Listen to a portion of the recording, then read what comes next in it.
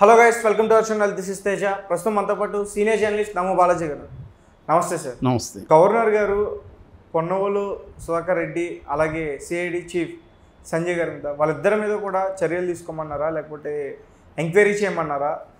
ఎందుకంటే చంద్రబాబు నాయుడు గారు అరెస్ట్ అయిన తర్వాత వాళ్ళిద్దరూ కూడా ప్రెస్ మీట్లో తను ఖైదీ అని చాలా సందర్భాల్లో మాట్లాడిన విషయాలు ఉన్నాయి. ముఖ్యంగా వాళ్ళకి తెలిసిన పత్రికలు ఉన్నాయి. సో మరి ఎంక్వైరీ చేస్తే ఎలాంటి విషయాలు బయటకు వచ్చే అవకాశం ఉంది? యా యాక్చువల్గా మనకు తెలుసు వీళ్ళిద్దరు కూడా.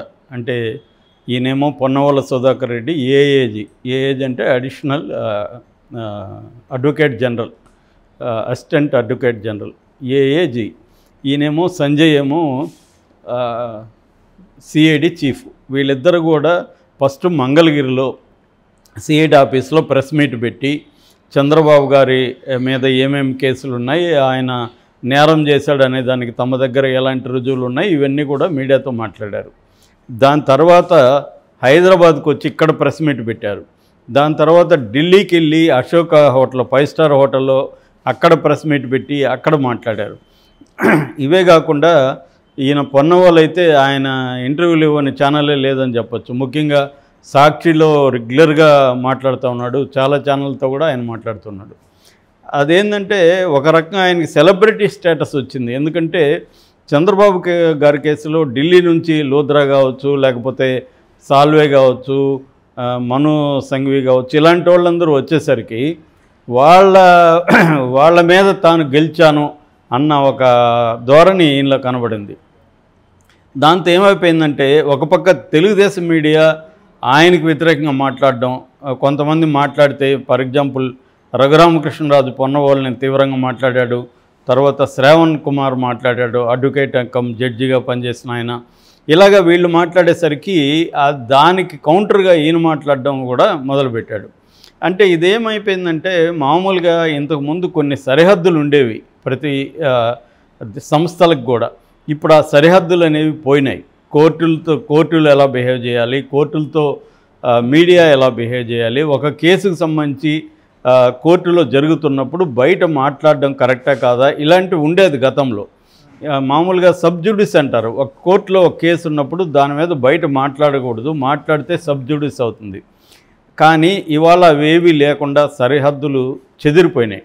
అందరూ కూడా అన్ని విషయాలు మాట్లాడేస్తున్నారు. ఈ కాంటెక్స్లో అధికారంలో ఉన్నవాళ్ళు లేకపోతే ఇన్వెస్టిగేటివ్ ఏజెన్సీసు ఇలా ప్రెస్ మీట్లు పెట్టి మాట్లాడచ్చా అనేది ఇప్పుడు వచ్చిన క్వశ్చన్ ఇప్పుడు ఏం జరిగిందంటే ప్రజెంటు వీళ్ళు ఎప్పుడైతే వీళ్ళిద్దరూ ఇలాగా సిటీలు మారుస్తూ ప్రెస్ మీట్లు పెడుతూ వెళ్ళారో దీని మీద తీవ్ర విమర్శలు వచ్చాయి. దీని మీద ప్రధానంగా AP united forum for RTI campaign అనే ఒక సంస్థ ఉంది. ఆ సంస్థ అధ్యక్షుడు ఎన్ సత్యనారాయణ సెప్టెంబర్ ఇరవై మూడవ తేదీ గవర్నర్కి డీటెయిల్గా ఫిర్యాదు పెట్టాడు. ఆ ఫిర్యాదుతో పాటు వీళ్ళ ప్రెస్ మీట్ వీడియోలు ప్రెస్ మీట్కి సంబంధించిన పేపర్లలో వచ్చినవి మొత్తం కటింగ్స్ మొత్తం ఫైలు గవర్నర్కి సబ్మిట్ చేశాడు. దాని తర్వాత గవర్నరు వీళ్ళిద్దరిని పిలిపించుకున్నాడు. పిలిపించుకొని మొత్తం వివరణ అడిగాడు. వీళ్ళిద్దరు వివరణ ఇచ్చారు. ఈ వివరణకి సాటిస్ఫై కాకుండా గవర్నర్ ఏం చేశారంటే ఆంధ్రప్రదేశ్ హోం శాఖ ప్రిన్సిపల్ సెక్రటరీకి ఆదేశాలు జారీ చేశారు. వీళ్ళిద్దరి మీద ఇలాంటి ఆరోపణలు వచ్చాయి. ఈ ఆరోపణల మీద దర్యాప్తు జరిపి శాఖాపరమైన చర్యలు తీసుకోండి అని వచ్చింది. ఇప్పుడు ఇది సంచలనమైంది. యాక్చువల్గా ఏంటంటే వీళ్ళకి సర్వీస్ రూల్స్ అనేవి ఉంటాయి.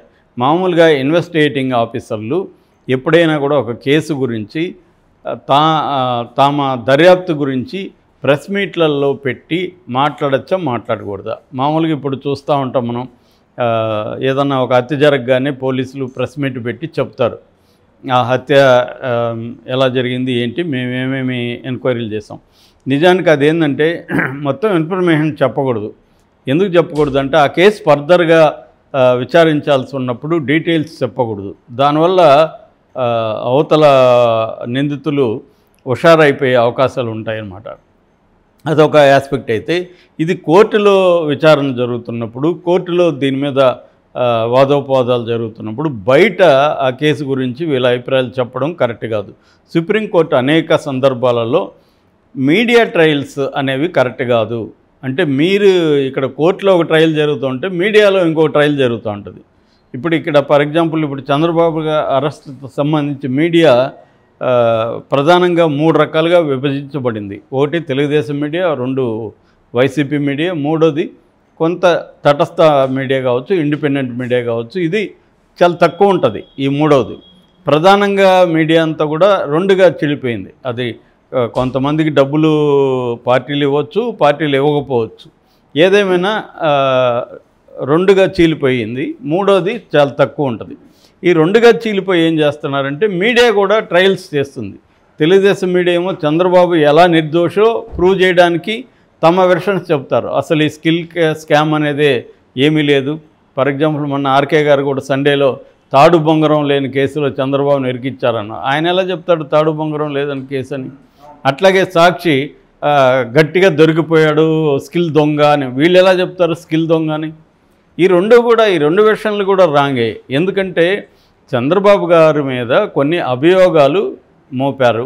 ఆ అభియోగాలు దే ఆర్ ఛార్జెస్ ఓన్లీ అభియోగాలు అవి అంతే. అంతేగాని ఆయన నేరం చేసినట్టు కాదు. నేరాన్ని ఆరోపించారు వీళ్ళు. ఈ నేరాన్ని ఆరోపించినప్పుడు మన డెమోక్రసీలో ఉన్న ప్రాసెస్ ఏమంటే ఇది కోర్టుల్లో ప్రాపర్గా ఇద్దరికి కూడా టైం ఇవ్వాలి. ఆయన దో నిర్దోషాన్ని ఆయన ప్రూవ్ చేసుకోవడానికి ఆయనకు టైము అవకాశం ఇవ్వాలి. అట్లాగే ఆయన దోషాన్ని ప్రూవ్ చేయడానికి ఇన్వెస్టిగేటింగ్ ఏజెన్సీకి కూడా కోర్టు తగిన సమయం ఇస్తుంది. ఈ సమయం తీసుకొని వీళ్ళు ఆయన దోషాన్ని ఆరోపణ ఆరోపణ చేస్తే సరిపోదు. ఆరోపణకు సంబంధించి డిఫరెంట్ సాక్ష్యాధారాలను సబ్మిట్ చేయాలి. అవి డాక్యుమెంటల్ ఎవిడెన్స్ కావచ్చు మెటీరియల్ ఎవిడెన్స్ కావచ్చు హ్యూమన్ ఎవిడెన్స్ కావచ్చు ఏదైనా రకరకాల ఎవిడెన్సెస్ని కోర్టు ముందు చెప్పాలి. కోర్టుని కన్విన్స్ చేయగలగాలి. అట్లాగే డిఫెన్స్ తరపున డిఫెన్స్ అంటే నేరాన్ని ఆరో ఎవరైతే నేరాన్ని మనం ఆరోపించారో ఆ నిందితులు. నిందితుల తరపున కూడా అడ్వకేట్స్ డిఫెండ్ చేసుకుంటారు. ఈ నేరం మేము చేయలేదని. సో ప్రూవ్ అయితే ఆయనకి శిక్ష పడితే కింద కోర్టులో శిక్ష పడితే మళ్ళీ అప్పీల్కి పై కోర్టుకి వెళ్ళొచ్చు సుప్రీంకోర్టు వరకు వెళ్ళొచ్చు. సుప్రీం కోర్టు కింద కోర్టులో శిక్ష పడినా కూడా ఆయన కన్విక్టెడ్ కాదు. అంటే శిక్ష నే దోషి కాదు. కింద కోర్టులో శిక్ష పడినా కూడా ఆయన దోషి కాదని మనం క్లియర్గా చెప్పచ్చు. ఎందుకు? సుప్రీంకోర్టు వరకు మళ్ళీ అప్పీల్ ఉంది. దోషని కానీ ఉంటే సుప్రీంకోర్టు వరకు అప్పీల్ చేసే అవకాశం ఇవ్వరు కదా. కాబట్టి ఫైనల్గా సుప్రీంకోర్టులో కన్ఫామ్ అయ్యే వరకు ఒక శిక్ష అప్పటి వరకు నిర్దోషే. కాబట్టి ముఖ్యంగా ఇన్వెస్టిగేటివ్ ఏజెన్సీస్ ఇలా చేయడం కరెక్ట్ కాదు. కానీ అన్ని పార్టీలకు సంబంధించి ఇదే జరుగుతుంది. వైసీపీనే కాదు. తెలుగుదేశం గతంలో ఉన్నప్పుడు కూడా సిబిఐ జగన్ అరెస్ట్లో మొత్తం లీకేజెస్ ఇచ్చేది తెలుగుదేశం మీడియాకి. మీకు జ్యోతి ఈనాళ్ళు మొత్తం వచ్చేసేవి. సిబిఐ సిబిఐ ఎప్పుడు ప్రెస్ మీట్లు పెట్టి చెప్పలేదు కానీ లీక్ అయితే చేసేది. సో అలా వచ్చేసేది. అట్లాగే ఇప్పుడు వైసీపీ వాళ్ళు ఏం చేస్తున్నారంటే వీళ్ళు లీకేజ్ ఒక పక్క ఇస్తున్నారు. దాంతోపాటు లీకేజ్ ఇవ్వకుండా డైరెక్ట్గా వీళ్ళే వచ్చి రంగంలోకి వచ్చి ప్రెస్ మీట్లు పెట్టి అది కూడా ఢిల్లీకి పోవాల్సిన అవసరం ఉంది. ఢిల్లీకి కూడా పోయి ఎందుకు పోయారు?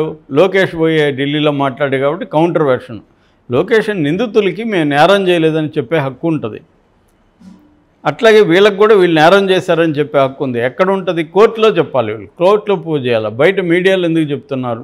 ఇది ఇబ్బందికరం. అయితే వీళ్ళ వాదన ఏంటంటే ఇటు మీడియా చీలిపోయి ఫర్ ఎగ్జాంపుల్ రామోజీరావు కేసులో మార్గదర్శి కేసులో మార్గదర్శి అనేది ఒక సంస్థ.